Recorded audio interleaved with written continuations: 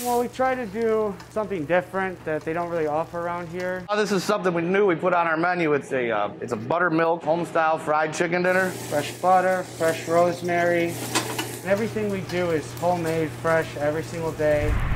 Well, since COVID hit, obviously we lost every single one of our major events. Thank you. Have a great day, folks. So we started operating on the side of the road in Macedonia. Come and get it. Just trying to roll with the punches and stay safe. Chicken's cooking. Just in private events alone, we re we refunded over $18,000. So we only did a quarter of the business that we did last year. Also going in the fryer too is um, fried Brussels sprout, fresh steamed broccoli. Probably the worst time to be a small business owner. We're just barely getting by paying our bills.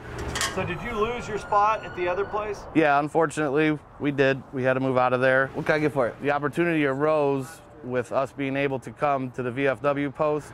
Anything else for you? They came out to us trying to team up and help their, their business in the wintertime, as well as uh, help us increase our membership.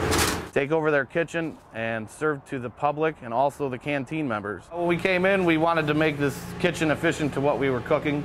So we added several new pieces of equipment, um, a much larger fryer, um, our char griller for the steaks, um, our panini press, it's helping us out a lot. There's a little bit of mashed potatoes, some butter, and we're also helping them. Here's your crab roll.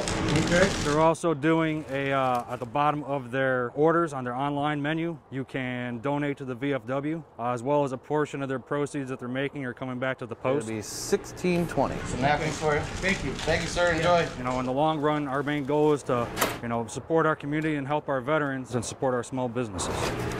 It's a 10 ounce ribeye. Make it rare. I thought it was a good opportunity Now we're making the ribeye.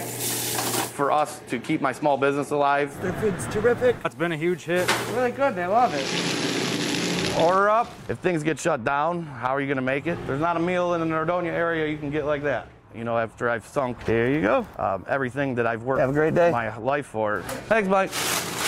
You know, into the food truck and the business, and then to see it all go away because of a pandemic, it's it's hurtful. How you been, Barbara? Fine, that's special service. Thank you. Thank you, dear. Have a great night. Thanks.